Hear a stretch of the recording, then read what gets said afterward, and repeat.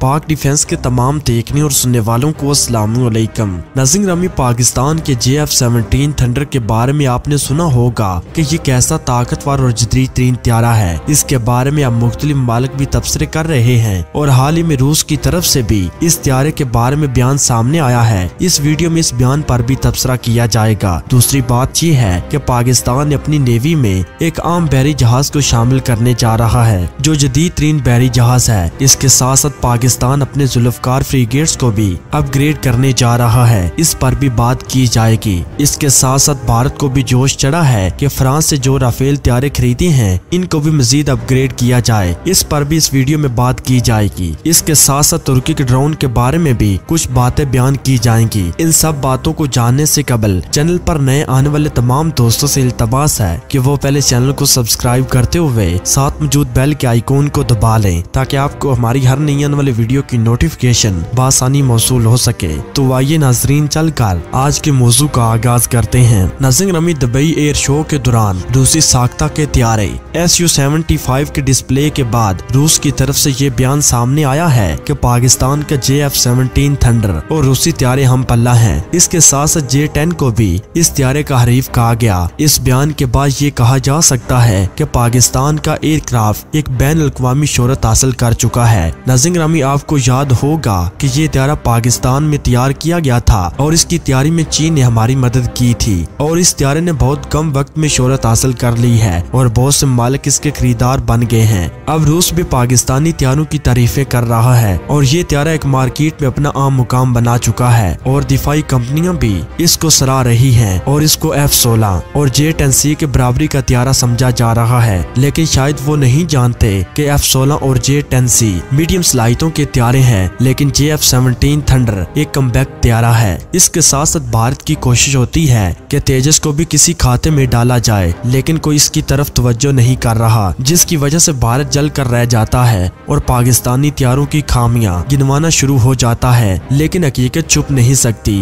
भारत का ये त्यारा अगरचे भारत ने 40 साल में तैयार किया है, लेकिन अभी तक इसकी मार्केट नहीं की जा सकी, जबकि जे एफ़ सेवनटीन थंडर कुछ मुल्कों को दिया भी जा चुका है, जिनमें नाइजीरिया और म्यांमार भी शामिल है, लेकिन भारत के ये त्यारा खरीदने के लिए कोशिश के बावजूद भी कोई तैयार न हो सका। इसी वजह से दुबई एयर शो में भारत ने तेजस को भी पेश किया था, लेकिन इसके बरक्स पाकिस्तान इस शो में इसलिए शिरकत न की थी कि इसे जे एफ़ सेवनटीन थंडर की मार्केटिंग की ज़रूरत नहीं है। दुनिया इसको खूब अच्छी तरह से जान गई है। इस एयर शो में भारत ने तेजस त्यारे को उड़ा कर भी दिखाया, लेकिन इसके बावजूद भारत का वो मकसद पूरा न हुआ, जिसके तहत वो इसको इस शो में लेकर गया था और इसकी मार्केटिंग न हो सकी और न ही इसका कोई खरीदार पैदा किया जा सका। लेकिन इसके बरक्स पाकिस्तान को एक और मुल्क भी मिल गया, जिसने जे एफ़ सेवनटीन थंडर खरीदने का इजहार किया। इसके बाद एक और खबर ये है कि पाकिस्तान ने माइन हंटर भी अपनी फौज में शामिल कर लिया है। पाकिस्तान ने नेदरलैंड से दो माइन हंटर्स अपनी नेवी में शामिल करने का इरादा किया है। इनकी शमूलियत से पाकिस्तान के पास माइन हंटर की तादाद पाँच हो जाएगी। ये 630 टन की माइन हंटर शिप है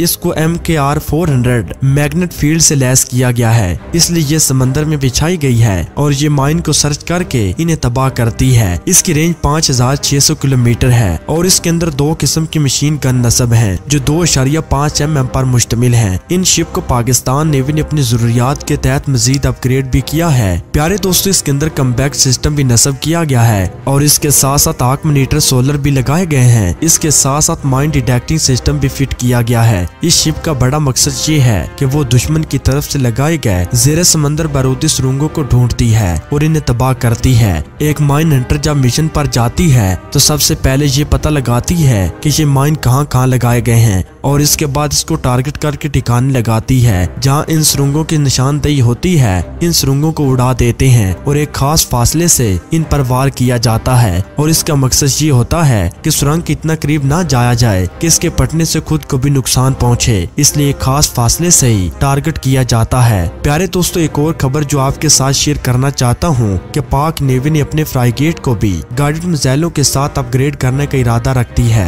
ये जुल्फकार नामी फ्री गेट है। इसके अंदर electronic system satellite guided system और इसके अलावा दूसरे इलेक्ट्रॉनिक डिवाइस लगाने का इरादा है। इसके लिए पाकिस्तान अपने दोस्त मुल्क तुर्की से मदद ले रहा है और इसके अंदर तुर्की के बने हुए इलेक्ट्रॉनिक डिवाइस को लगाया जाएगा। इसका मकसद ये है कि ये दुश्मन के सब रेडारों और दिफाई निजामों का पता लगाने के काम आएगा और इसके ज़रिए दुश्मन के त्यारों के रेडार भी जैम किए जा सकेंगे और दिफाई निजामों को भी इनकाउंटर किया जा सकेगा। इसके कई एक काम होंगे। पहले ये दर्जा बंदी करेगी। इसके बाद ट्रैकिंग की जाएगी और टारगेट का पता लगाया जाएगा और इसके बाद इसकी लोकेशन देखी जाएगी और इसके बाद इसको तबाह किया जाएगा। इसके साथ साथ इसकी सारी इतला हेडक्वार्टर तक भेजी जाएगी। प्यारे दोस्तों, इसके बाद एक और खबर ये है कि भारत ने फ्रांस से जो राफेल त्यारे खरीदे थे, भारत इनको अपग्रेड करने का इरादा रखता है। इसके लिए भारत ने अपनी जरूरियात को मद्देनजर रखकर इनको अपग्रेड करेगा और जिस जिस चीज़ की ज़रूरत होगी, इस त्यारे में लगाई जाएँगी। इस मकसद के लिए भारत की एक टीम फ्रांस में गई हुई है और उनसे मुजाकर किए जा रहे हैं और मशवरे भी किए जा रहे हैं कि इन त्यारों को किस हद तक अपग्रेड किया जा सकता है और इस चीज़ का भी जायजा लिया जा रहा है कि इन त्यारों में किस हद तक अपग्रेडिंग की जा सकती है और क्या क्या इसमें लगाया जा सकता है। इसलिए जो हथियार इनमें फिट करने हैं, इनके हार्ड पॉइंट कैसे लगाए जाएँगे और क्या ये मुमकिन होगा? इसलिए फ्रांस के साथ बातचीत की जा रही है। प्यारे दोस्तों, यहाँ ये भी याद रहे कि ये राफेल एक डेढ़ साल में अपग्रेड कर दिए जाएँगे। और इसके अंदर जैमिंग सिस्टम सेटेलाइट सिस्टम और डिटेक्टिव सिस्टम लगाए जाएँगे और इसके साथ साथ और भी कई एक इलेक्ट्रॉनिक डिवाइस लगाई जाएँगी। इसके साथ ये भी खबर है कि तुर्की अपने ड्रोन को अपग्रेड कर रहा है और उस तरह के ड्रोन बना रहा है जिस तरह के पाकिस्तान के शाह पर हैं। इसलिए तुर्की इनको और भी अपग्रेड कर रहा है। ये एक लॉन्ग रेंज ड्रोन है। प्यारे दोस्तों आज की वीडियो में बस इतना ही।